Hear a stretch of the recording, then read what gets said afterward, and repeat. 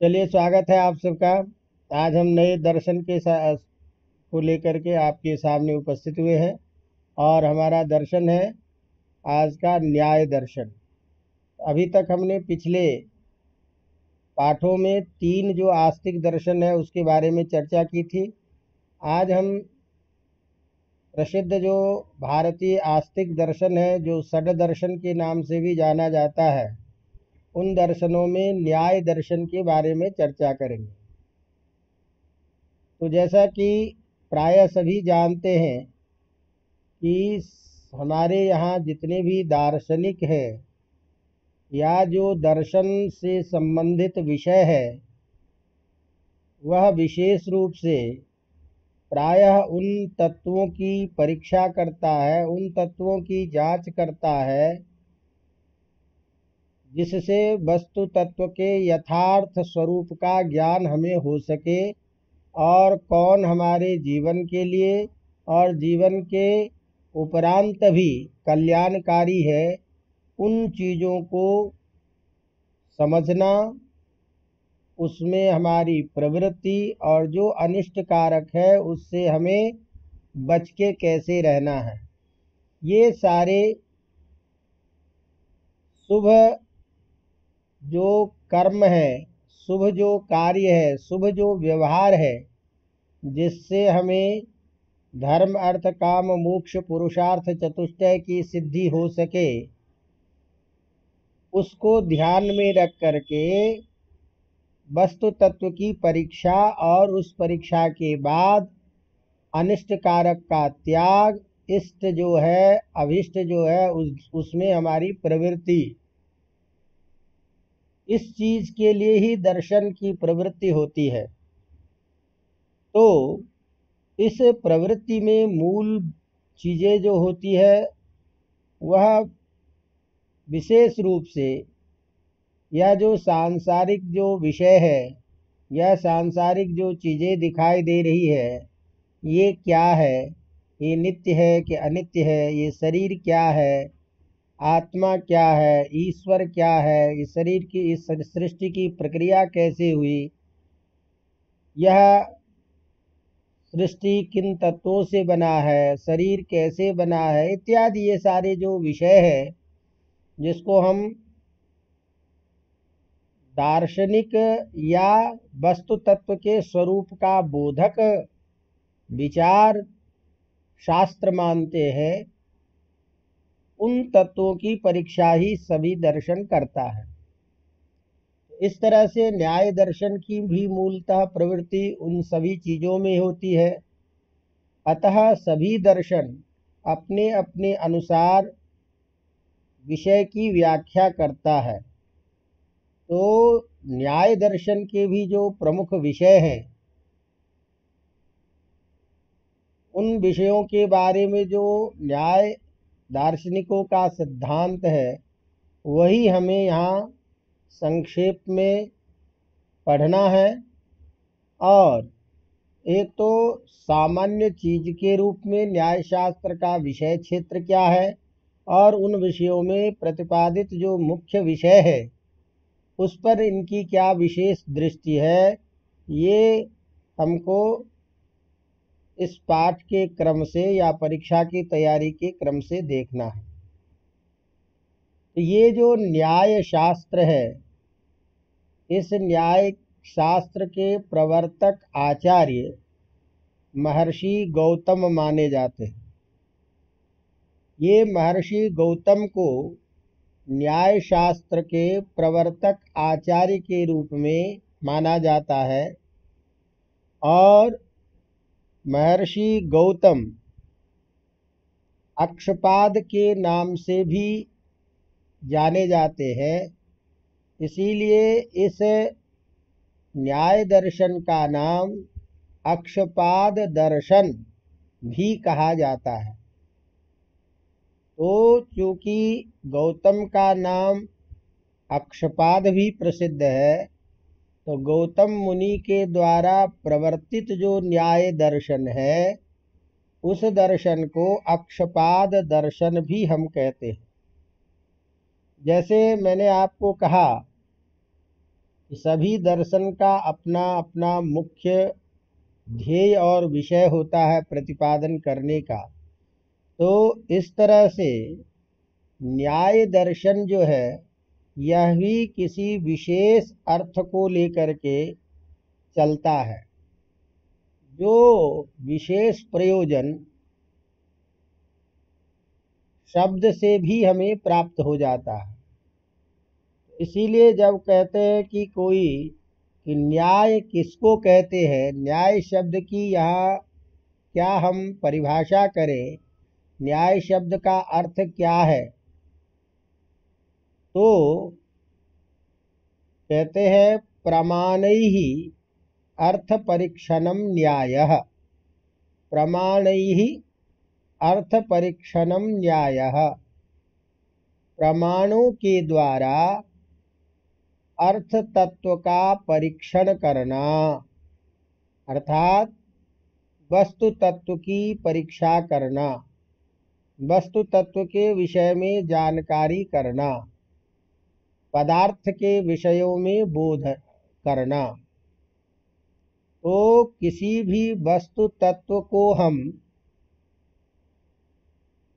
कैसे समझें कि ये किस रूप में है, इसका स्वरूप क्या है? तो जब तक वह किसी चीज़ से प्रमाणित नहीं हो जाता है, उसके स्वरूप का बोध नहीं हो जाता है कि ये इसलिए ऐसा है।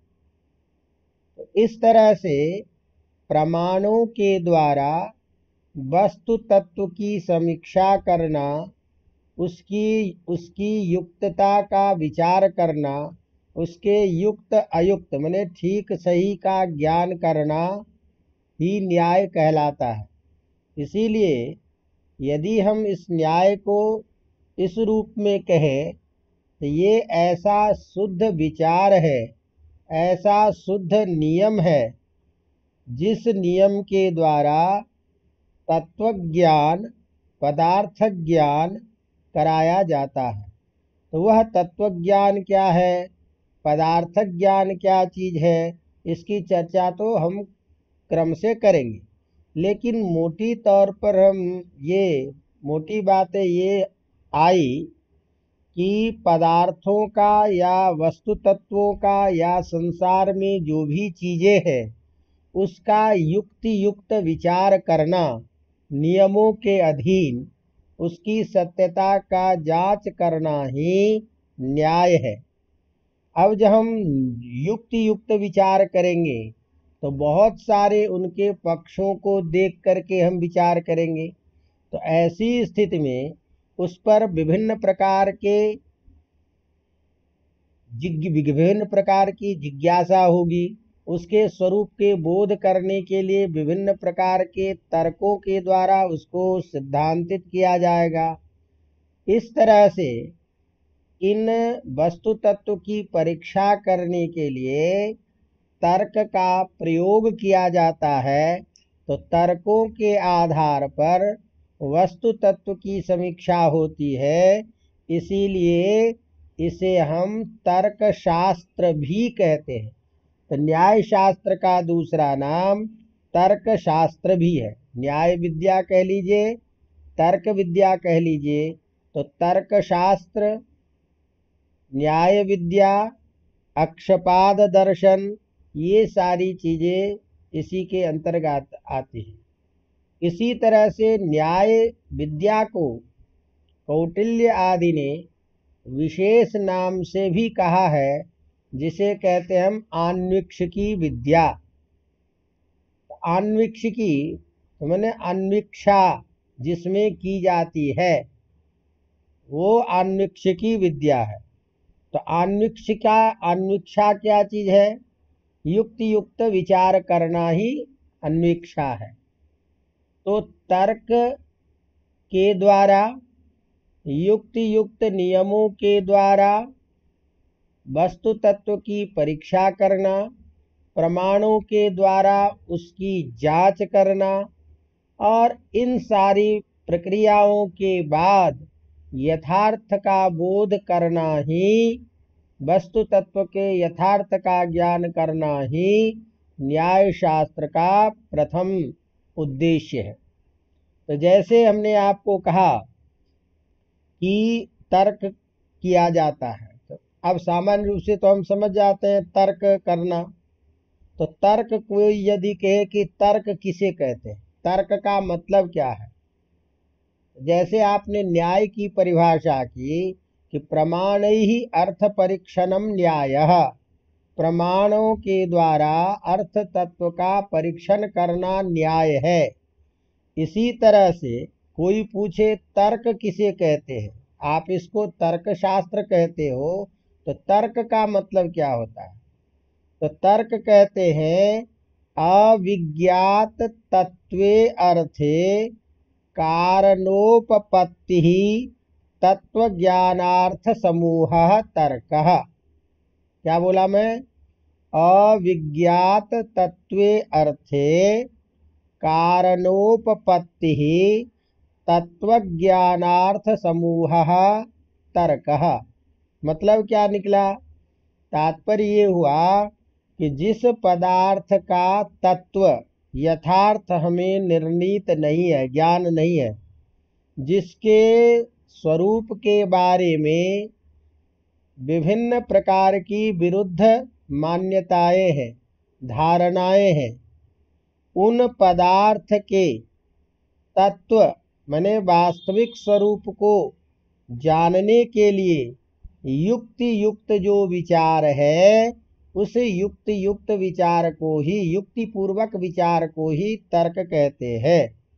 इसीलिए कहते हैं तर्के न अर्थात तर्क उपकृत प्रमाणिन। तर्क किसके द्वारा करोगे आप? प्रमाण के द्वारा। तो तर्क के उपकारक जो प्रमाण है, उन प्रमाणों के द्वारा वस्तु तत्व का निर्णय जहाँ किया जाता है, वही तर्क है। तो इसका मतलब तर्क के द्वारा भी वस्तु तत्व की परीक्षा, प्रमाणों के द्वारा वस्तु तत्व की परीक्षा करेंगे इसीलिए इसका नाम तर्क शास्त्र भी है न्याय शास्त्र भी है। गौतम ऋषि का नाम अक्षपाद होने के कारण इसे अक्षपाद दर्शन भी कहते हैं और इसे विद्या के रूप में आन्वीक्षिकी विद्या भी कही जाती है। अब गया अवगतम तो मूल सिद्धांत क्या हुआ? न्याय शास्त्र का तत्व ज्ञान करना किसके द्वारा? प्रमाणों के द्वारा। किसके द्वारा? तर्क के द्वारा। तर्क क्या है? युक्ति युक्तक युक्ति युक्त विचार अवगतम अब यह जो तत्व ज्ञान है, वह तत्व ज्ञान क्या चीज़ है? अवगतम तो तत्व ज्ञान इस न्याय का मूल प्रयोजन है, मूल उद्देश्य है तत्व ज्ञान कराना। अब तत्व ज्ञान क्यों कराते हैं? क्यों करना चाहते हैं तत्व ज्ञान तो सबका अंतिम परिणाम अपन क्या समझते हैं? मोक्ष प्राप्ति ही है। अवगतम तो मोक्ष प्राप्ति के लिए तत्व ज्ञान आवश्यक है। इसीलिए तत्व ज्ञान हमको कराना है। तत्व ज्ञान कैसे होगा? तो प्रमाण आदि के द्वारा वस्तु तत्व की समीक्षा करके जानकारी कर। अवगतम तो यह जो तत्व ज्ञान है, इसलिए ध्यान में रखिए कि अब प्रश्न हुआ कि ये तत्व ज्ञान क्या चीज़ है? तो तत्व ज्ञान किसके बारे में करेंगे आप? तो तत्वज्ञान न्याय शास्त्र में पदार्थों का करना चाहते हैं। पदार्थ के यथार्थ स्वरूप का बोध ही है तत्वज्ञान। तो इसका मतलब न्याय शास्त्र में पदार्थ क्या चीज़ है, ये प्रधान विषय है। और उस पदार्थ के यथार्थ स्वरूप का बोध करना मुख्य उद्देश्य है। और वह पदार्थ का ज्ञान क्यों करना चाहते हैं? अंतिम प्रयोजन क्या है? मोक्ष। ध्यान दीजिए क्रमिक। परम पुरुषार्थ जो मोक्ष, उसकी प्राप्ति करने के लिए तत्वज्ञान आवश्यक। तत्वज्ञान किसके विषय में? पदार्थों के विषय में। वह पदार्थों के विषय में होने वाला तत्व ज्ञान क्या होगा? प्रमाण आदि के द्वारा उसके स्वरूप का ज्ञान। तो प्रमाण आदि, तर्क आदि युक्ति युक्त विचार आदि आपको साधन है तत्व ज्ञान के लिए। किसके तत्व ज्ञान के लिए? पदार्थ ज्ञान के लिए। अब ऐसी स्थिति में यदि हम इन सारी चीज़ों को एक शब्द में देखें तो न्याय शास्त्र में वह पदार्थ क्या है, कितने हैं, ये हमारा एक प्रधान विषय हो गया। उन पदार्थ, पदार्थों का तत्वज्ञान कैसे होगा, प्रमाणों के द्वारा परीक्षा करने पर? तो इसका मतलब प्रमाण क्या चीज़ है? प्रमाण कितने हैं? ये भी जानकारी आवश्यक हो गई। फिर इसके बाद हम आगे जब बढ़ेंगे तो उस स्थिति में यह आत्मा क्या है? ईश्वर क्या है? ये जो विशेष जो चीज़ें हैं, इन सब के बारे में भी न्याय दर्शन में क्या युक्त युक्त विचार किया गया है? ये हमारे इस ग्रंथ का मुख्य ध्येय है। अवगतम? अब ध्यान दीजिए कि हम क्रमिक इस विषय को अब आगे बढ़ा रहे हैं। समझ में आ रही बात? तो न्याय दर्शन के जो मुख्य सिद्धांत है इस सिद्धांतों का वर्णन, जैसे मैंने बताया कि गौतम का प्रवर्तक गौतम आचार्य हैं तो गौतम का प्रथम जो सूत्र है, मूल ग्रंथ है, वो है न्याय सूत्र। अवगतम यही न्याय दर्शन का मूल ग्रंथ है। इन न्याय सूत्र जो है, इसमें मुख्य रूप से पाँच अध्याय हैं और प्रत्येक अध्याय में दो दो आन्निक है, दो आन्निकों में इसको विभाजित किया गया है। इसके बाद न्याय सूत्र के ऊपर में अनेक भाष्य लिखे गए हैं इन सिद्धांतों को बताने के लिए। जैसे वात्स्यायन का न्याय भाष्य है, उद्योतकार का वार्तिक न्याय वार्तिक है, वाचस्पति की न्याय वार्तिक के ऊपर तात्पर्य टीका है, उदयन की न्याय वार्तिक तात्पर्य परिशुद्धि है। इसी तरह से कुसुमांजलि है और जयंत की न्याय मंजरी है। ऐसे ये कुछ जयंत भट्ट की, इस तरह से ये कुछ ऐसे प्रसिद्ध ग्रंथ हैं, जिन ग्रंथों में न्याय तत्व के समस्त चीज़ों को बताया गया है। अवगतम अब ये जो न्याय है, इसकी चर्चा सामान्य रूप से देखे जाते हैं, जैसे व्याकरण की परंपरा में दो भाग है। एक प्राचीन व्याकरण के नाम से प्रसिद्ध है, एक नव्य व्याकरण के नाम से। इसी तरह से न्याय परंपरा में कालांतर में दो धाराएँ प्रचलित हुई, जिसको हम प्राचीन न्याय और नव्य न्याय से हम जानते हैं। तो नव्य न्याय जो है, यह कालांतर में परिवर्तित होने वाला है। लेकिन प्रारंभ से जो न्याय आ रहा है, उसे हम प्राचीन न्याय कहते हैं। तो प्राचीन न्याय के अंतर्गत गौतम का न्याय सूत्र, उनके भाष्य और उनके द्वारा जो कहे गए सिद्धांत है इन सिद्धांतों का वर्णन जितने भी तत्समकालिक ग्रंथ है, वो सारे, वो आचार्य न्याय, प्राचीन न्याय में आते हैं। नव्य न्याय का प्रारंभ गंगेशोपाध्याय से माना जाता है।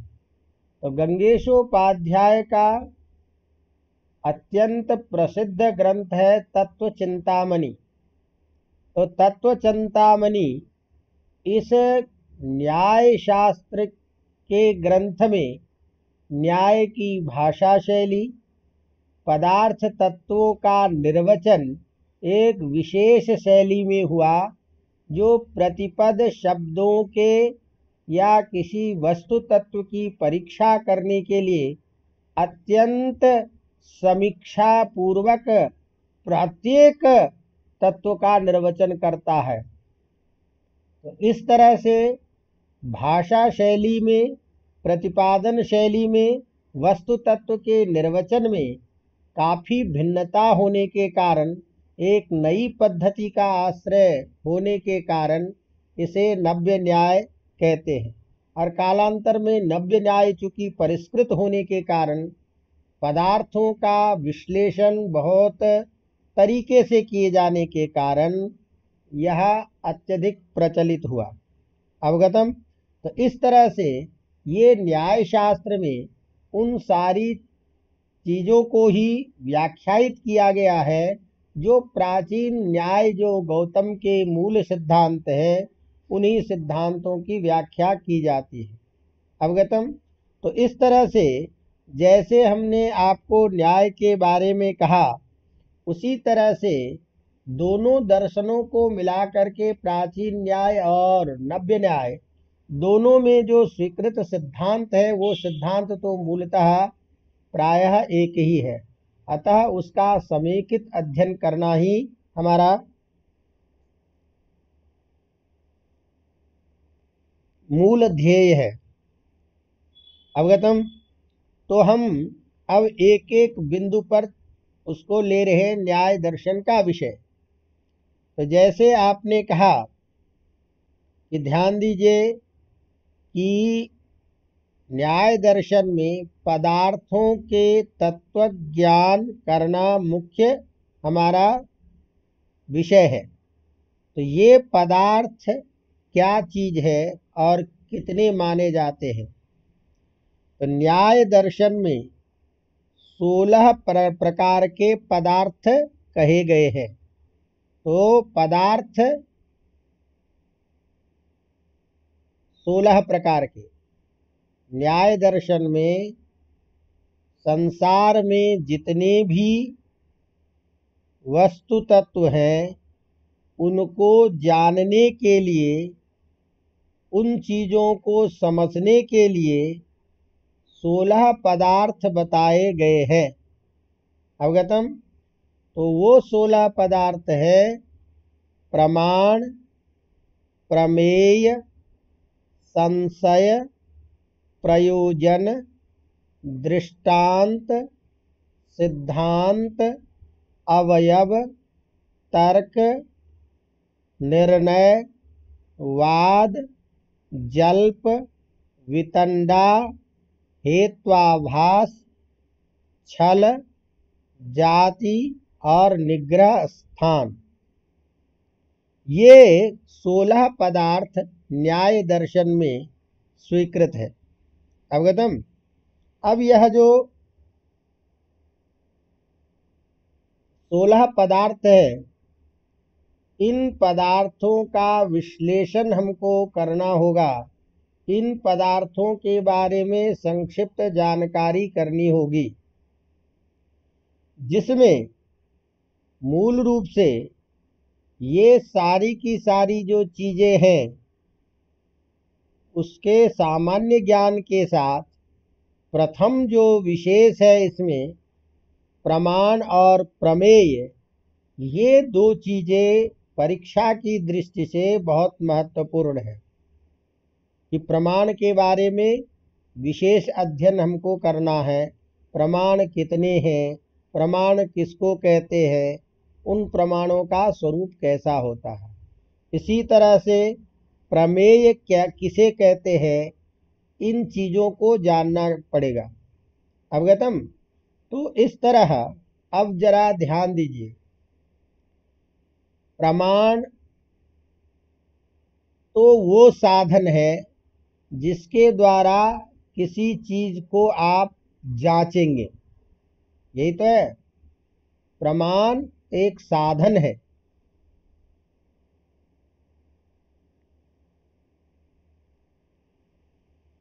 जिसके द्वारा वस्तु तत्व की हमें परीक्षा करनी है। अवगतम तो यह प्रमाण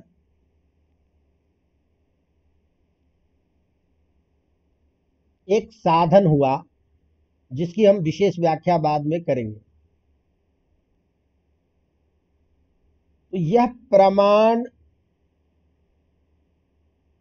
साधन होने के कारण किसी चीज़ को प्रमाणित करेगा।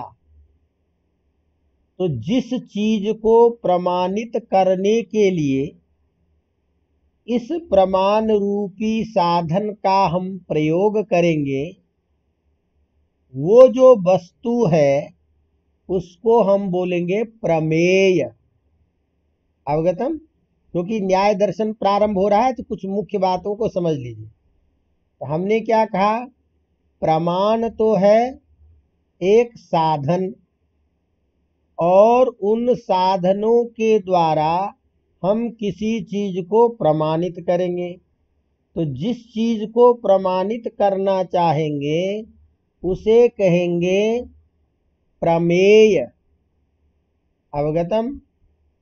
और जो प्रमाणित करेगा, उसे कहेंगे प्रमाता। तीन चीज़ें आई। प्रमाता, प्रमेय और प्रमाण। तो प्रमाता उसे कहेंगे जो ज्ञान करने वाला है। प्रमेय उसे कहेंगे, जिसके बारे में हम जानकारी चाहते हैं, जिसको प्रमाणित करना चाहते हैं। प्रमाण वो होगा जो हमारा साधन होगा। अवगतम तो इस तरह से प्रमाण, प्रमेय, ये दो पदार्थ विशेष रूप से है समझना, दो चीज़ें।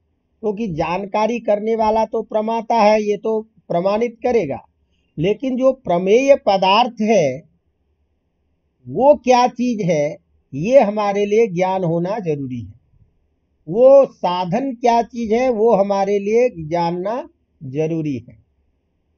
तो इन साधनों के द्वारा जैसे हम किसी चीज़ की जाँच करते हैं और वो साधन के रूप में एक प्रमाण पदार्थ हो गया, उसी तरह से जिस चीज़ को जानेंगे, वह भी प्रमेय एक पदार्थ है।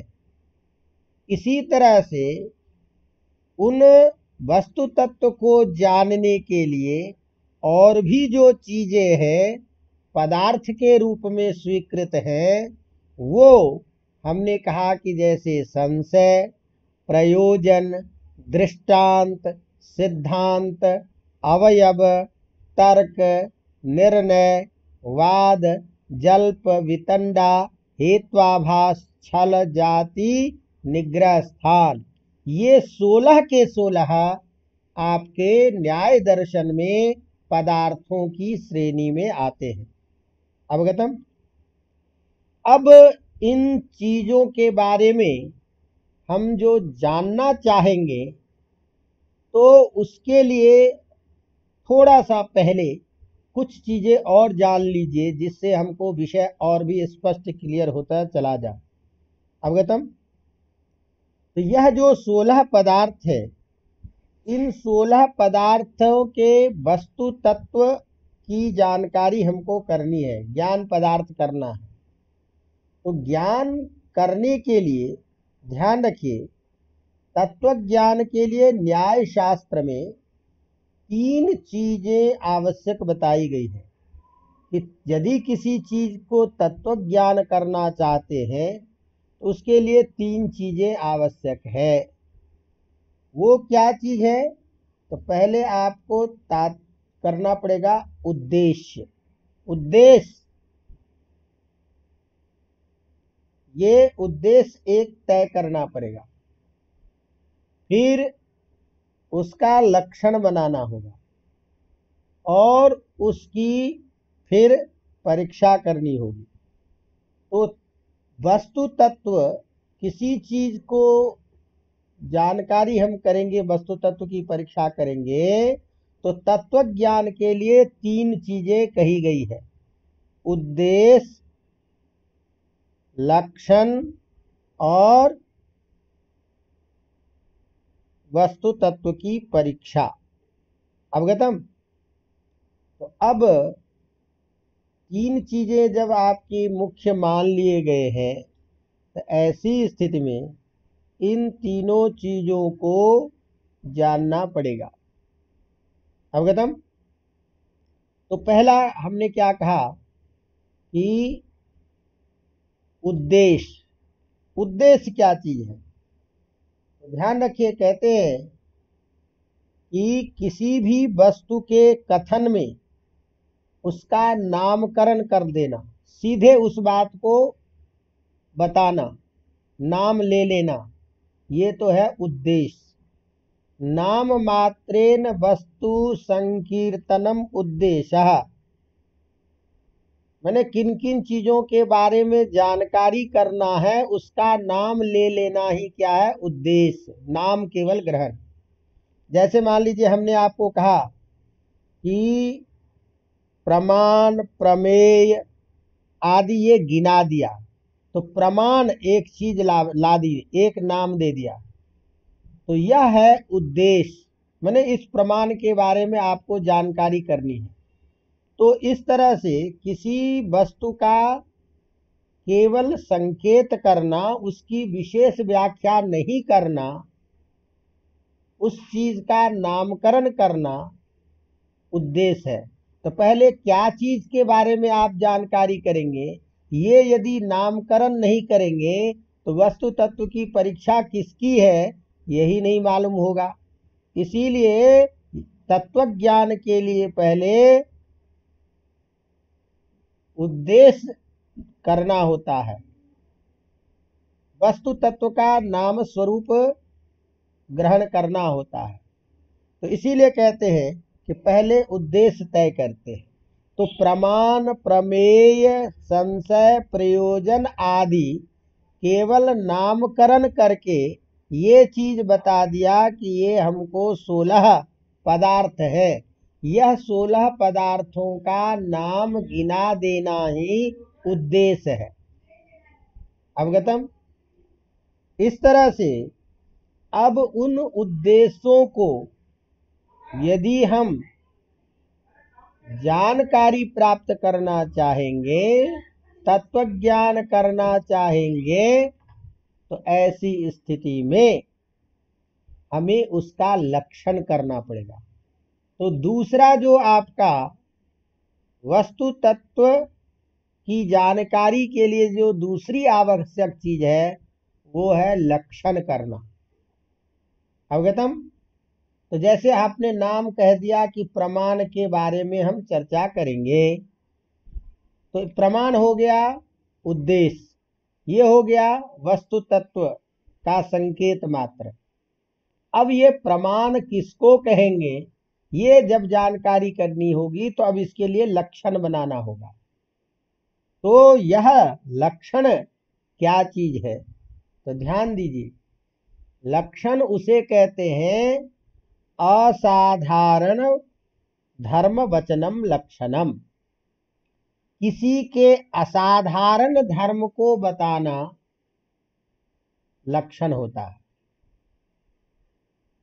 अर्थात ऐसी कोई विशेष चीज़ें बताना जिसके आधार पर अन्य चीज़ों से उसको छांटा जा सकता है। जैसे सभी पशु हैं, लेकिन पशु, पशुत्व धर्म सब में है, लेकिन गाय किसको कहेंगे?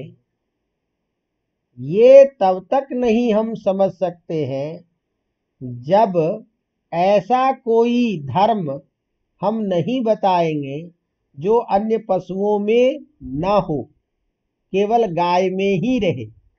तो गाय में ही रहने वाला वह जो विशेष धर्म है, उसी को हम असाधारण धर्म कहते हैं।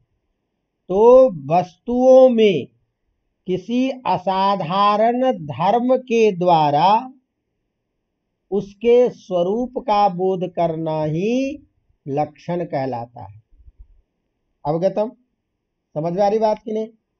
तो कोई पूछे कि अब लक्षण किसे कहते हैं? तो लक्षण का मतलब हुआ असाधारण धर्म वचन। किसी में ऐसे विशेष धर्म को, विशेष तत्व को बताना जिससे वह अन्य सभी समुदायों से भिन्न जाना जा सके। जैसे, अब हमको, हमने अभी उदाहरण दिया कि कोई पूछे, गाय किसको कहते हैं?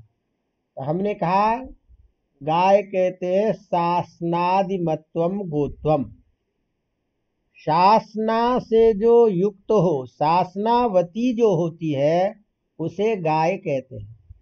शासना क्या चीज़ है? गल कंबल गले में चमड़ी जो लटकी होती है ना, उसे कहते हैं गल कंबल तो ये गल कंबल जो है, अन्य किसी जानवरों में नहीं होता। तो इसीलिए ये एक ऐसी चीज़ें हमने बताई जो अन्य पशुओं में नहीं है, लेकिन गाय में निश्चित रूप से है। तो इसीलिए जो किसी में निश्चित रूप से रहे और अन्य में कभी ना रहे, ऐसा जो असाधारण धर्म होता है उसी को हम बोलते हैं लक्षण। अवगतम। अब हमने ये नहीं कहा कि सींग वाली जो होती है उसको गाय कहेंगे, क्योंकि सींग जो है अन्य जानवरों में भी है, इसीलिए यदि सींग वाली गाय है, ये लक्षण करेंगे तो इस लक्षण से गाय को अलग नहीं कर सकते। इसीलिए लक्षण हमेशा क्या होना चाहिए? असाधारण धर्म वचन वाला ही होना चाहिए। अब ये जो लक्षण है, इन लक्षण में ध्यान रखने की बात है। जैसे हमने आपको समझाया कि यहाँ असाधारण धर्म का यह स्वरूप आप समझ लीजिए कि सो, जो सभी में ना रहे।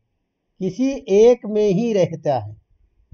तो यहाँ गाय का शासनादिमत होना, ये गाय का असाधारण धर्म है। तो जितने भी गाय होंगे, सभी में ये लक्षण पाया जाएगा। समझेंगे ना? तो अब ये ध्यान रखना है कि गलकंबल बाली जो है उसको गाय कहते हैं तो जहाँ जहाँ गलकंबल बाली, गलकंबल विशिष्ट पशु दिखाई देगा, इसका मतलब वो गाय है।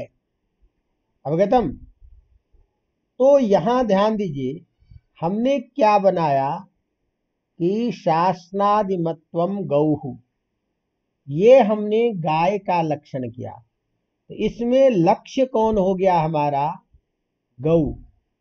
अवगतम। और उसका असाधारण धर्म क्या हुआ? शासनादिमत्वम तो शासनादिमत्वम ये हो गया उसका लक्षण। अवगतम। अब ध्यान दीजिए कि यह जो लक्षण है और ये लक्ष्य है तो ध्यान रखिएगा। अब हम कुछ चर्चा थोड़ा सा करते हैं। कि सभी में कुछ न कुछ धर्म रहता है। उस धर्म को बताने के लिए व्याकरण आदि के द्वारा कुछ प्रत्ययों को लगा करके हम जानकारी करते हैं। जैसे, मनुष्य में रहने वाला जो एक विशेष धर्म है, जिससे मनुष्य हट नहीं सकता वो धर्म को हम बताने के लिए संस्कृत में त्व प्रत्यय और तल प्रत्यय लगा करके प्रयोग करते हैं। तो हम बोलते हैं मनुष्यत्व। मनुष्य में रहने वाला धर्म मनुष्यत्व। पशु में रहने वाला धर्म पशुत्व। गुरु में रहने वाला धर्म गुरुत्व। तो त्व लगा करके बोलिए या ता लगा करके बोलिए। अवगतम? तो मनुष्यता कह लीजिए या मनुष्यत्व कह लीजिए, एक ही बात है। तो इसी तरह से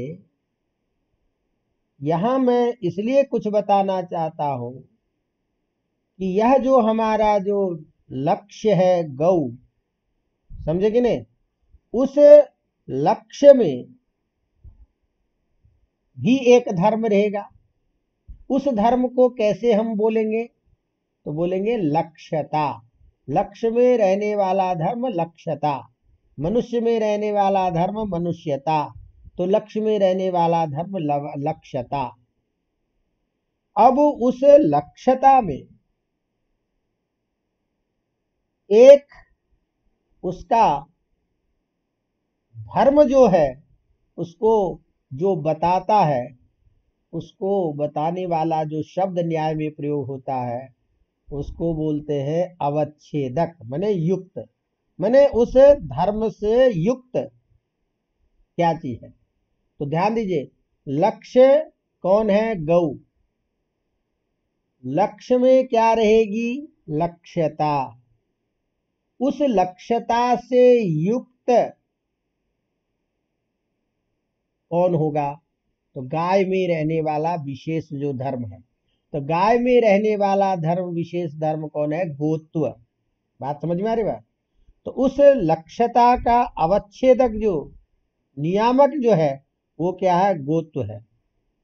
यह जो गोत्व धर्म है, यह गोत्व धर्म समस्त गायों में रहेगा और जहाँ जहाँ ये गोत्व है, वहाँ वहाँ ये लक्षण रहेगा शासनादिमत्वम अवगतम तो इस तरह से लक्ष्यता का अवच्छेदक धर्म जो गोत्व, वह गोत्व धर्म, जैसे मनुष्यत्व धर्म सभी मनुष्य में रहेगा, लेकिन उसी तरह से गोत्व धर्म जो रहेगा, वो सभी में रहेगा तो उस गोत्व जहाँ जहाँ भी है, उस गोत्व विशिष्ट जो गौ है, जो हमारा लक्ष्य है उस लक्ष्य का हम लक्षण करने जा रहे हैं और हमने लक्षण दिया शासनादि मत्वम अवगतम तो इसका मतलब क्या निकला?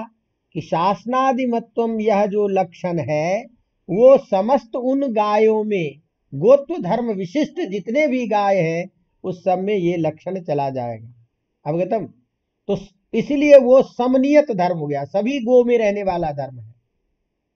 अवगतम तो संक्षेप में अब यदि हम इसको कहें तो सीधा सीधा मतलब हुआ, कोई भी ऐसा असारा, असाधारण धर्म जो समस्त लक्ष्य में तो रहे, लेकिन उससे भिन्न में कहीं न रहे, ऐसा जो असाधारण धर्म वचन होता है, उसी को हम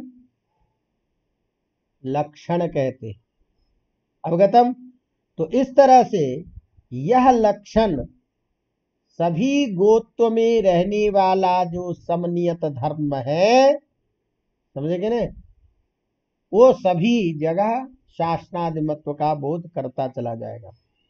अवगतम अब ये ध्यान दीजिए, जो अधिकतर प्रश्न आ जाता है कि कोई भी जो लक्षण होता है, वो लक्षण परिष्कृत लक्षण कब बनेगा? तो परिष्कृत लक्षण बनने के लिए लक्षण को तीन दोषों से रहित होना चाहिए। तो किसी भी लक्षण में यदि तीन प्रकार के दोष आ गए तो वो लक्षण सही लक्षण नहीं होगा। उससे वस्तु तत्व की यथार्थता का बोध नहीं होगा। इसीलिए लक्षण कैसा होना चाहिए इस लक्षण के लिए उसके दोष को भी जानना पड़ेगा कि इन दोषों से रहित होना चाहिए। तो लक्षण में जो तीन प्रकार के दोष कहे गए हैं, वो एक दोष है अव्याप्ति, दूसरा दोष है अतिव्याप्ति, और तीसरा दोष है असंभव। तो लक्षण अव्याप्ति से रहित होना चाहिए। लक्षण में अव्याप्ति यदि आ गई तो लक्षण दोष वाला बन गया। तो लक्षण अव्याप्ति से रहित होना चाहिए। लक्षण अतिव्याप्ति से रहित होना चाहिए। लक्षण में अतिव्याप्ति भी नहीं होना चाहिए और लक्षण में असंभव भी नहीं होना चाहिए। तो असंभव भी एक दोष है, अतिव्याप्ति भी एक दोष है और अव्याप्ति भी एक दोष है। इन तीनों प्रकारों के दोष से यदि लक्षण है रहित अलग, इन तीनों दोषों से रहित जो लक्षण होगा, वही लक्षण, सही लक्षण बनेगा, उसी लक्षण से वस्तु तत्व की जानकारी हो सकेगी। अवगतम तो लक्षणम कीदृशम भवेत, अव्याप्ति, अतिव्याप्ति, असंभव दोष भिन्नत्वम एवं लक्षणम। लक्षण का स्वरूप, अतिव्या अव्याप्ति, अतिव्याप्ति और असंभव, इन तीनों दोषों से रहित होना चाहिए। अब ये प्रश्न आ गया कि अव्याप्ति क्या चीज़ है? तो कहते हैं कि देखिए, कि लक्षिक देशावृत्तित्व अव्याप्ति। लक्षिक देशावृत्तित्व ये थोड़ा सा नए छात्र हो आप लोग जनरल के छात्र हो, इसीलिए थोड़ा सा कोशिश करता हूँ आसान तरीके से समझाने के लिए। तो लक्ष्य के देशावृत्ति ही। मैंने लक्ष्य के किसी भी एक अंश में भी यदि वह लक्षण न रहे, लक्षण नहीं घटता हो अवगतम जैसे हमने आपको कहा कि शासनादिमत्वम गोत्वम आपने ये लक्षण किया। अब ये लक्षण हमारा तभी सही लक्षण होगा कि इसमें अव्याप्ति न रहे। और अव्याप्ति हमने क्या कहा? किसी भी एक भाग में भी लक्षण यदि नहीं जाता है, लक्षण अपने सभी लक्ष्य में जाना चाहिए तो किसी भी एक स्थल में, एक हिस्से में भी लक्षण यदि नहीं घटता है तो उसको कहते हैं अव्याप्ति हो जाना।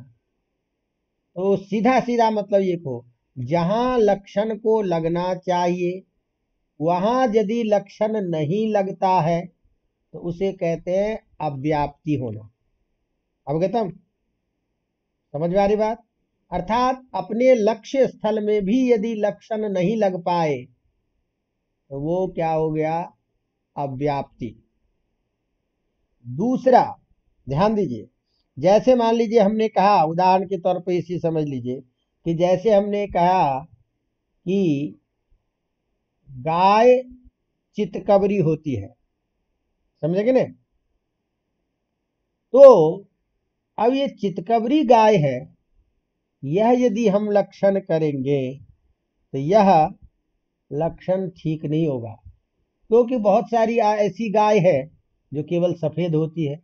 बहुत सारी ऐसी गाय होती है जो केवल काली ही होती है।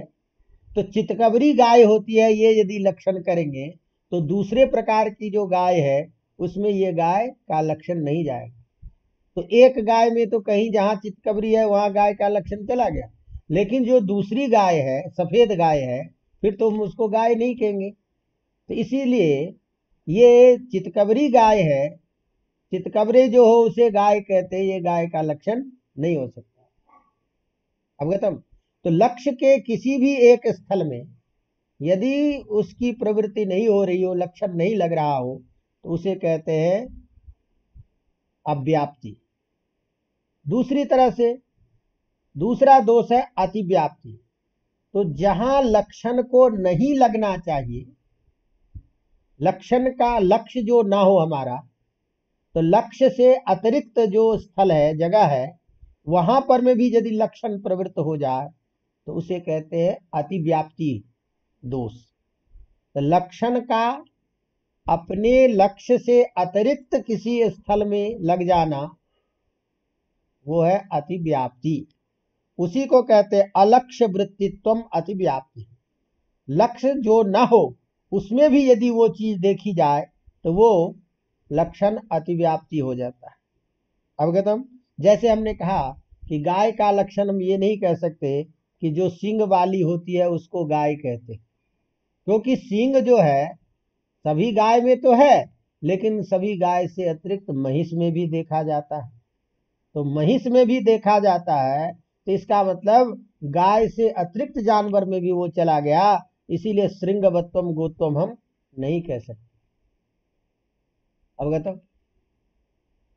तो इस तरह से लक्षण को अव्याप्ति दोष से रहित होना चाहिए। अपने लक्ष्य के सभी जगह पर में लगना चाहिए।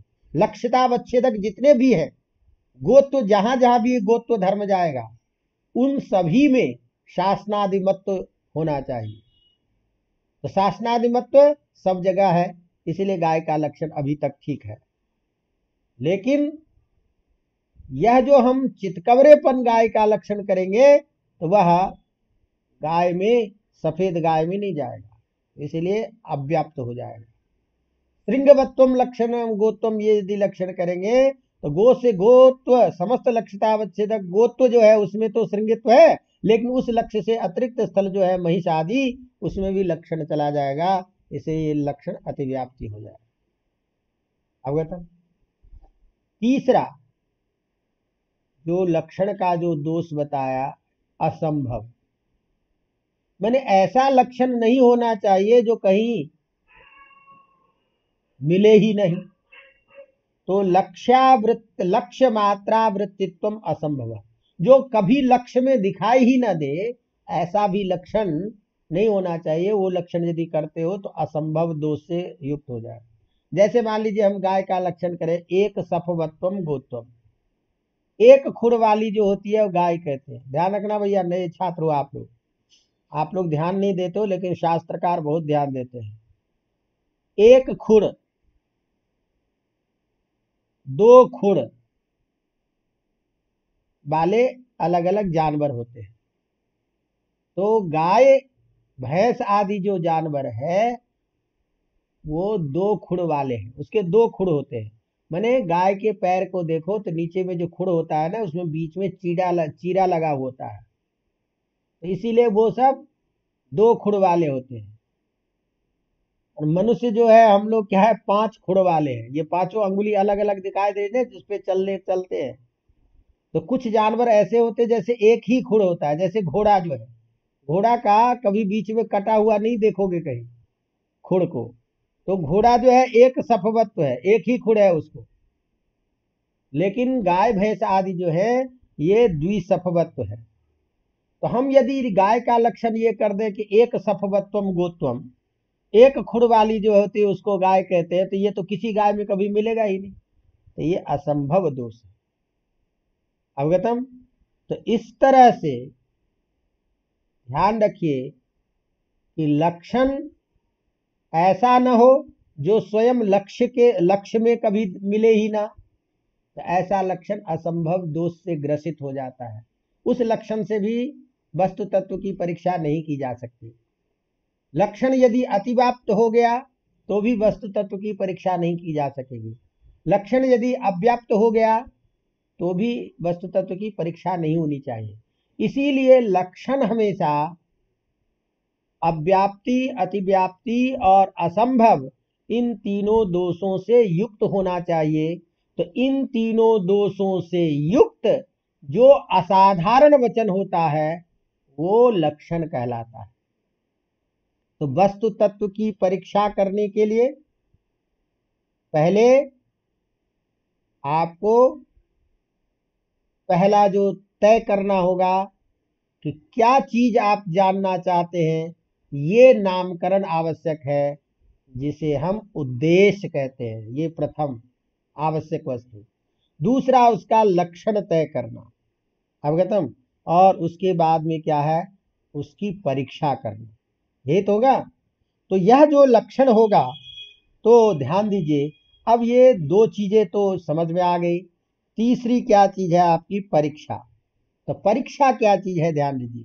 अब आपने जान लिया, लक्षण कर लिया।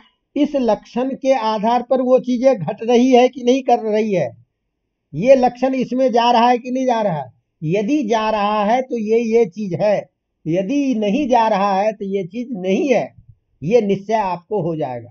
तो लक्षण के द्वारा हम उस चीज़ के उस सही रूप में होने नहीं होने का विचार करते हैं और यही सही रूप में हो, होना नहीं होना, यही विचार करना क्या कहलाता है? परीक्षा। तो लक्षित लक्षणम उपपद्यते, नवा इति विचार एवं परीक्षा। यह लक्षण जो है, अपने लक्षित जो हमारा लक्ष्य पदार्थ है, इस लक्ष्य में लग रहा है कि नहीं लग रहा है, ये यहाँ लक्षण घट रहा है कि नहीं घट रहा है, ये जाँच करना ही क्या है? परीक्षा। अवगतम?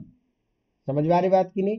तो इस तरह से परीक्षा भी करनी होगी, लक्षण भी करना होगा, उद्देश्य। तो किसी भी वस्तु तत्व की परीक्षा करने के लिए ये तीन चीज़ें आवश्यक होती है। पहले उद्देश्य तय करना, अर्थात नाम के द्वारा उसका बोध करना, वस्तु तत्व का संकेत करना, उसके बाद में उसका लक्षण करना, उस लक्षण के आधार पर वो चीज़ें घटित हो रही है कि नहीं रही है, उसमें वो लक्षण जा रहा है कि नहीं जा रहा है ये विचार करना ही क्या है, परीक्षा। इस तरह वस्तु तत्व की परीक्षा के लिए वस्तु तत्व के यथार्थ बोध करने के लिए तीन चीज़ें आवश्यक है, उद्देश्य, लक्षण और परीक्षा। और ये कोई भी जो लक्षण बनाते हैं, क्यों लक्षण करते हैं? लक्षण बनाने की ज़रूरत क्या होती है? तो लक्षण बनाने के दो उद्देश्य होते हैं। एक, व्यावृत्ति और दूसरा, व्यवहार। लक्षण के दो उद्देश्य। किसी चीज़ के लक्षण बनाने के दो उद्देश्य होते हैं। व्यावृत व्यवहार होगा लक्षण से प्रयोजनम। व्यावृत्ति मैंने किसी चीज़ को छाटना तो एक से दूसरी दूसरी वस्तु को अलग करना, अलग हम कैसे करेंगे? लक्षण के द्वारा ही। तो जो अलक्ष्य है, नहीं समझे कि नहीं? तो हमने पहली बात है क्या कही? व्यावृत्ति। व्यावृत्ति में हटाना, अलग करना। तो लक्ष्य में रहने वाले सजाती और जो विजाति है, जो दूसरी जाति वाले हैं, उसका ज्ञान ज्ञान, मैंने लक्ष्य से भिन्न चीज़ों का जो ज्ञान ग्रहण न हो पाए, उसका व्यावर्तन करे। जैसे गाय का लक्षण करे तो गाय वाले, गाय गोत्व नाम से जो प्रसिद्ध गोत्व विशिष्ट जो गौ है, वही गाय का ग्रहण हो, भैंस आदि न आ जाए तो भैंस आदि की व्यावृत्ति हमको करनी है। तो लक्षण का एक प्रयोजन है कि लक्ष्य से भिन्न चीज़ों का ग्रहण न हो जाए। दूसरा, व्यवहार।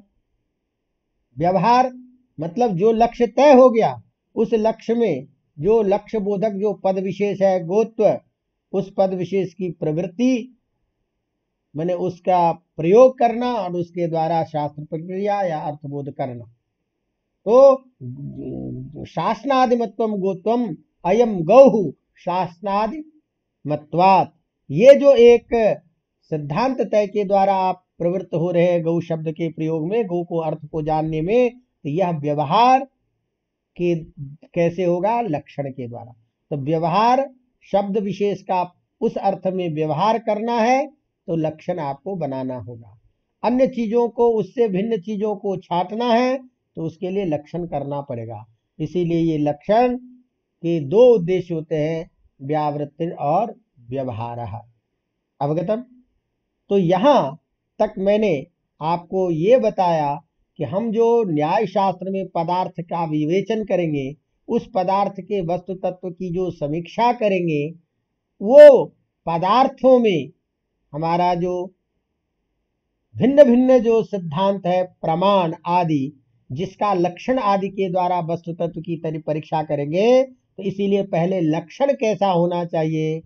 लक्षण किसे कहते हैं? इसकी हमने जानकारी की।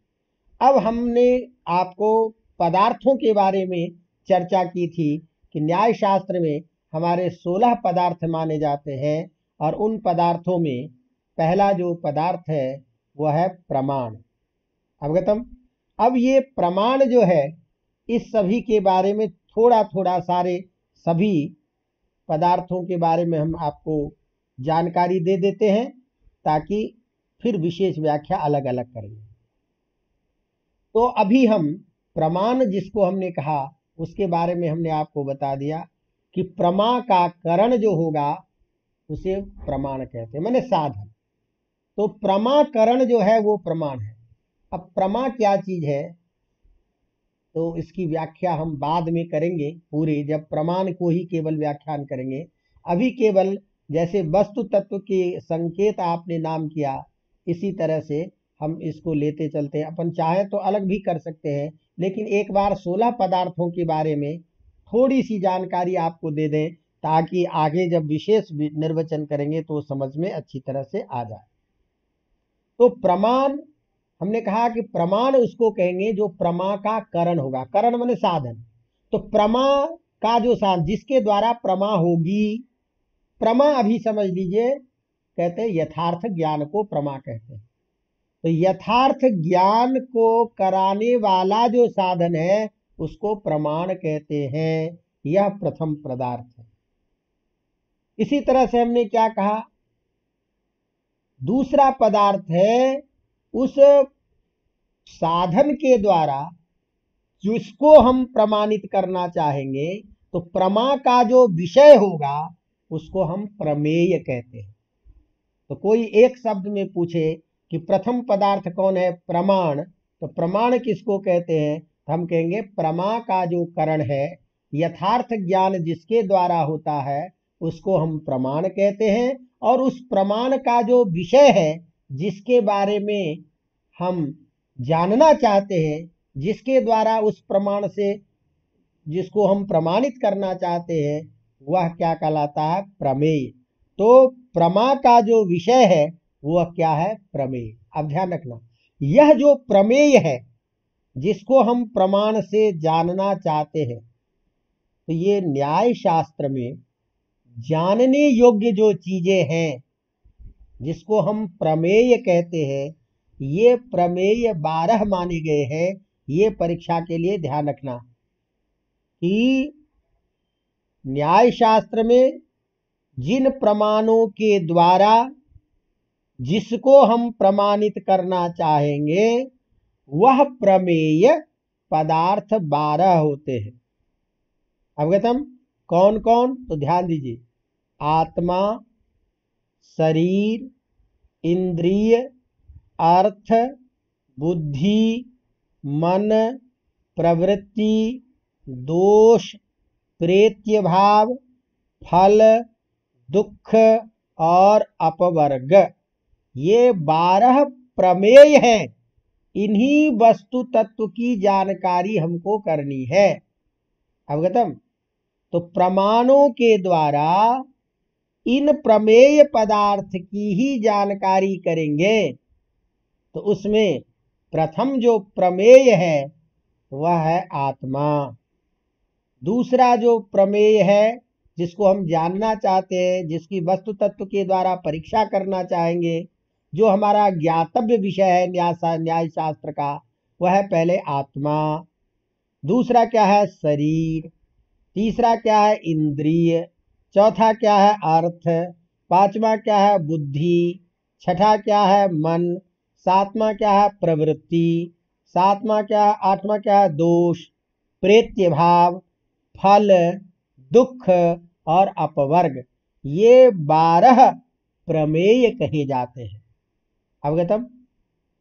प्रमाण की भी हम संख्या करेंगे कि चार प्रमाण स्वीकार किए जाते हैं। प्रत्यक्ष अनुमान, उपमान और शब्द, जिसकी अलग व्याख्या करेंगे। अवगतम तो पहला पदार्थ हो गया कौन? प्रमाण। दूसरा पदार्थ कौन हो गया? प्रमेय। जो प्रमेय जिसको हम जानना चाहते हैं, जिसको प्रमाण के द्वारा प्रमाणित करना चाहते हैं, वो प्रमेय हमारे पास है हमारे न्याय शास्त्र में बारह होते हैं। तीसरा आपका पदार्थ क्या बताया? संशय। अब ये संशय क्या चीज़ है? तो संशय कहते हैं, एकस्मिन धर्मनि विरुद्ध नाना अर्थावमर्श संशय। अर्थावमर्श संशय। मैंने एक चीज़ में, एक ही चीज़ में अनेक चीज़ों का ज्ञान होने लग जाए, अनेक पदार्थों का यदि ज्ञान हो जाए, विरुद्ध कोटि का ज्ञान होने लग जाता है तो उसे कहते हैं संशय। अब इसकी भी हम विशेष व्याख्या करेंगे। मतलब अब स्थान रुबा पुरुष हुआ। ये खूंटा है कि आदमी है। ये आदमी है या नहीं है? इस प्रकार से एक ही चीज़ में किसी एक साथ अनेक चीज़ों का ज्ञान होने लग जाता है, वही ज्ञान होता है संशय। अवगतम? तो एक में, किसी एक में किसी एक चीज़ में अनेक धर्मों का ज्ञान होना क्या कहलाता है? परस्पर विरुद्ध धर्म का ज्ञान होना क्या कहलाता है? संशय।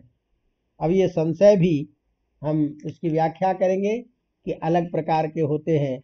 लेकिन ये तीसरा आपका जो आ गया पदार्थ, वो क्या है? संशय। चौथा है प्रयोजन। चौथा पदार्थ क्या है? प्रयोजन।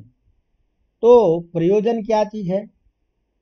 जिससे प्रेरित होकर के मनुष्य संसार के विभिन्न कर्मों में लगता है, उसी का नाम क्या है? प्रयोजन। येन प्रयुक्त पुरुष प्रवर्तते तत्प्रयोजनम जिससे प्रयुक्त होकर के, जिससे प्रेरित होकर के, जिसके चलते मनुष्य किसी काम को करने के लिए प्रवृत्त होता है, उसी को बोलते हैं प्रयोजन। अवगतम? तो आपने संशय समझा, प्रयोजन समझा। इसी तरह से अगला क्या है? दृष्टांत। पांचवा आपका पदार्थ क्या है? दृष्टांत। तो दृष्टांत क्या चीज़ है? ध्यान रखिए। किसी भी एक चीज़ को सिद्ध करने के लिए, एक चीज़ को बताने के लिए उसी तरह का समान धर्म वाला जो कोई दूसरा चीज़ है, उसको बताना, उसको बता करके किसी चीज़ को सिद्ध करना। तो समान धर्म वाले किसी दूसरे से किसी एक को सिद्ध करना, उसे कहते हैं दृष्टांत। अवगतम तो वादी प्रतिवादिनो संप्रति विषयो अर्थो दृष्टांत जिस अर्थ में वादी और प्रतिवादी, अर्थात पक्ष और विपक्ष वाले दोनों समान प्रतिपत्ति, जिसको दोनों लोग उसको मानता हो। ऐसे में तो दोनों रूप से जिसको वादी प्रतिवादी मानता है ऐसे जो कोई चीज़ें उपस्थापित करता है, उसी को कहते हैं दृष्टांत। अवगतम अब ये दृष्टांत भी अनेक प्रकार के होते हैं जिसकी चर्चा अभी नहीं करेंगे। तो कुल मिलाकर के क्या हुआ कि पक्ष विपक्ष दोनों ही जिन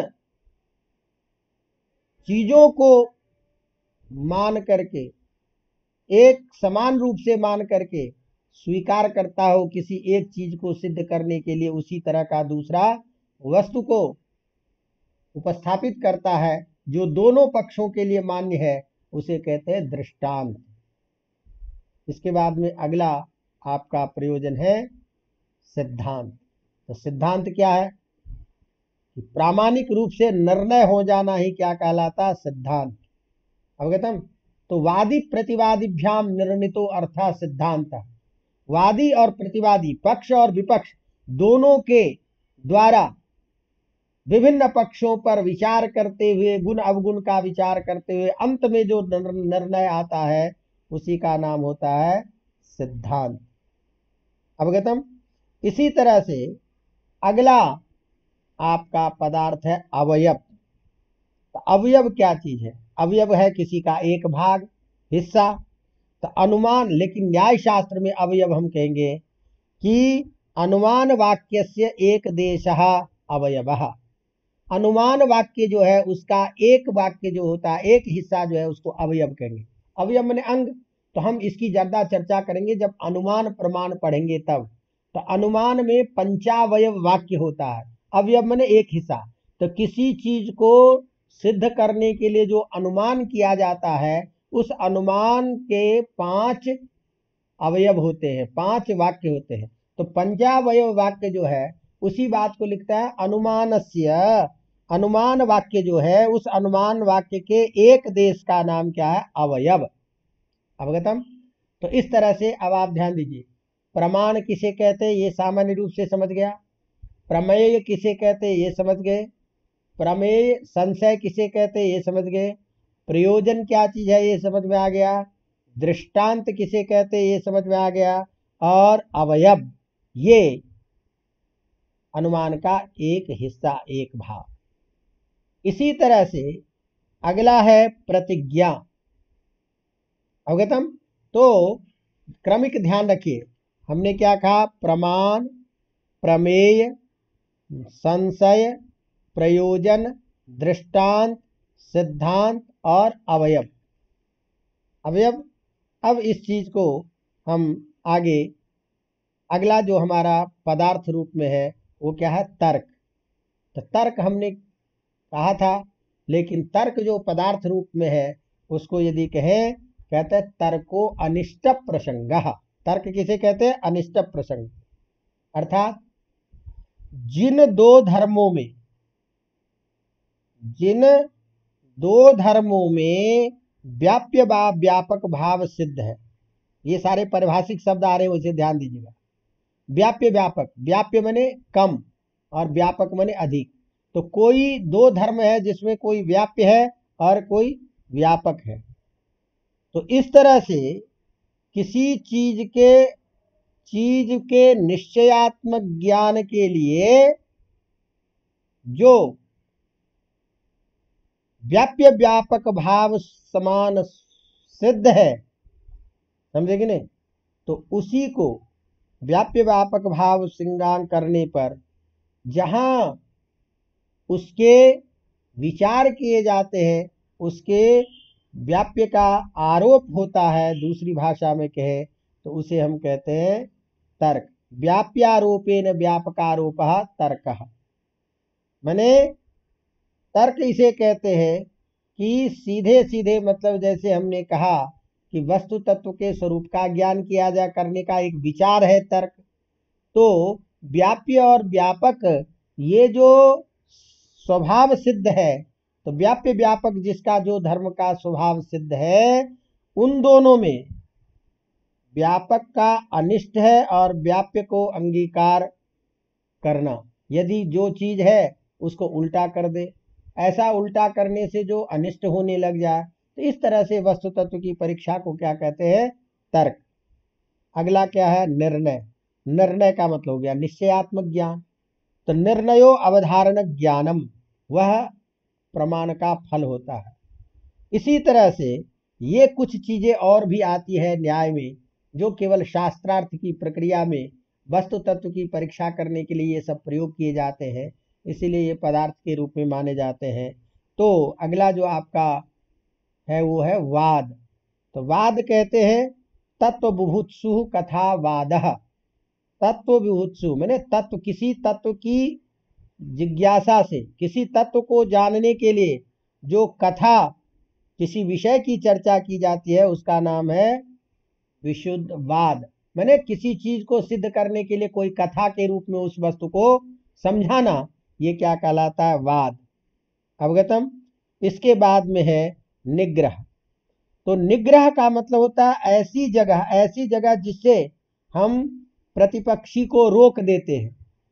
अपनी, अपने कथन से किसी को उसके प्रश्नों का जवाब न दे पाता हो, उसको रोक देना, उसी को कहते हैं निग्रह।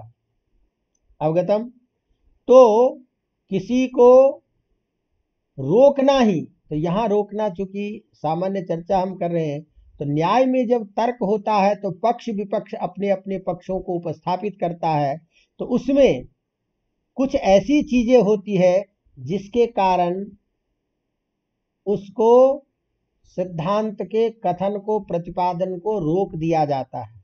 तो उसी को कहते हैं निग्रह स्थान।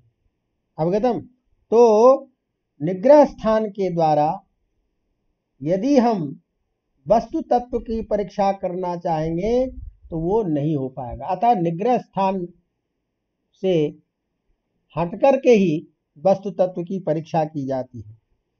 इसके बाद में अगला आता है जल्प। जल्प का मतलब क्या है? उभय साधानंदती विजुविषी कथा कल्प जल्प। अर्थात अपने को जीतने के लिए मैंने पक्षी को अपने सिद्धांत को स्थापित करने के लिए अन्य कथा को भी जोड़ देना। समझे कि नहीं? अर्थात जिसमें पक्ष पक, प्रतिपक्ष पक्षों का साधन किया जाता है ऐसी कथा जिसमें स्वयं को विजय प्राप्त करने के लिए जो साधन के रूप में प्रयोग किया जाता है उसे कहते हैं जल्प। अवगतम? इसी तरह से वितंडा। मैंने अपने ही पक्ष की उपा, उपस्थापना करने के लिए, अर्थात सएव स्वपक्ष स्थापना हीनो वितंडा। भाई, अब बात चल रही है कुछ और प्रसंग, कोई और चीज़ उठा करके अनावश्यक जो बातें हैं उसी को बोलते हैं वितंडा। अर्थात जिस कथा में अपने पक्ष की स्थापना न कर केवल पर पक्ष का ही खंडन किया जाता है, केवल खंडन ही करने, करना उद्देश्य होता है। अपना पक्ष तो कुछ स्थापित नहीं कर पाता, लेकिन केवल आपने जो कहा वो गलत है, आपने जो कहा वो गलत है। इस तरह से दूसरों को खंडन पक्ष में ही रहता है, अपने सिद्धांत पक्ष की स्थापना जो नहीं करता है, उसे कहते हैं हम वितंडा। इसी तरह से अगला है हेत्वाभास। जिसकी हम प्रवृत्ति करेंगे। क्योंकि अनुमान में हेतु मुख्य कारण होता है। लेकिन जो हेतु न हो, गलत हेतु हो तो अनुमान गलत हो जाता है। इस तरह से हेत्वाभास माने जाते हैं, जिसकी भी अलग अलग संख्या में भेद है, जिसकी चर्चा करेंगे। तो दुष्ट जो हेतु है, या हेतु की तरह जो दिखाई देता है, उसे हम हेत्वाभास कहते हैं। इसी तरह से छल। अर्थात अपने कथन को सिद्ध करने के लिए, समझेंगे ना? सिद्ध करने के लिए ऐसा शब्द का प्रयोग करना, दूसरे अभिप्राय से जो कोई शब्द कहीं दूसरी जगह कहा गया है, उस शब्द को उठा करके और यहाँ बीच में रख करके उसको उस चीज़ से प्रतिपादन करना, ये क्या है? छल। मैंने शब्द का कोई भिन्न प्रकरण चल रहा है लेकिन उस शब्द को भिन्न जगह उठा करके और उसको उस तरह की व्याख्या करना क्या है? छल है। इसी तरह से जाति जाति कहते हैं गलत उत्तर। मैंने उत्तर कुछ सत्य न बता करके गलत उत्तर दे देना न्याय की भाषा में बोला जाता है जाति। और इसी तरह से निग्रह स्थान, जिसको मैंने अभी कहा, पराजय हेतु निग्रह स्थानम, जिससे हम प्रतिपक्षी को अपने सिद्धांतों को खंडन करने से रोक दें, उसे कहते हैं निग्रह स्थान। तो इस तरह से ये हमारे सोलह पदार्थ है न्याय शास्त्र में स्वीकार किए जाते हैं। ध्यान रखिएगा कि जब हम तर्क संग्रह पढ़ते पढ़ते हैं तो तर्क संग्रह में सात पदार्थ बताए जाते हैं। तो वैशेषिकों के आधार पर पदार्थ सात है, जो द्रव्य गुण कर्म सामान्य विशेष संवाया भावा सप्त पदार्था ये हम पढ़ते हैं तर्क संग्रह में। चूँकि न्याय और वैशेषिक कालांतर में एक साथ प्रयुक्त होने के कारण न्याय वैशेषिक रूप में समान रूप में प्रयोग होता है तो इस तरह से वो जो सात पदार्थ है, वो सात पदार्थ वैशेषिक सिद्धांत के आधार पर, लेकिन न्याय सिद्धांत में सोलह पदार्थ माने जाते हैं। इस तरह से हमने इन सारे पदार्थों के बारे में न्याय शास्त्र के सामान्य ज्ञान के बारे में, लक्षण कैसा होना चाहिए इसके बारे में सामान्य जानकारी की, अब हम आगे प्रमाण के विषय में विशेष चर्चा करेंगे, जो फिर हम कभी दूसरी कक्षा में आपके साथ होंगे। तो मुझे ये लगता है कि आपको अब जो आगा, आगे आएगा, ये सब कुछ न्याय शास्त्र अप्र, अप्रचलित है कुछ आप लोग कम सुने होंगे। इसीलिए सावधानी से सुनिए। कोशिश मैं करता हूँ कि बिल्कुल सरल भाषा में प्रत्येक विषय को आपको समझाऊं और आपको कैसे समझ में आ रहा है, क्या स्थिति है, ये प्रतिक्रिया आप लोग ज़रूर दें और कक्षा इस तरह से यथासंभव अपनी चलती रहेगी। बार बार आप लोग इस चीज़ को सुनेंगे तो हो सकता है कोई चीज़ एक विषय में नहीं समझ में आ रहा हो एक बार में तो वो दो बार में, कई बार ऐसा भी होता है कुछ चीज़ें छूट जाती है तो दूसरी बार में पकड़ में आती है। इस तरह से मुझे लगता है यदि ध्यान से आप सारे इस पाठ को आप सुनेंगे इस चैनल को तो मुझे लगता है सारे विषय अपने आप क्लियर होते चले जाएँगे। तो आपकी जो भी स्थिति है, उसकी प्रतिक्रिया ज़रूर दीजिएगा। तो यही इसे हम विराम देते हैं। इसी के साथ शेष हम चर्चा करेंगे अब कभी। इसको मैं बंद करता हूँ। धन्यवाद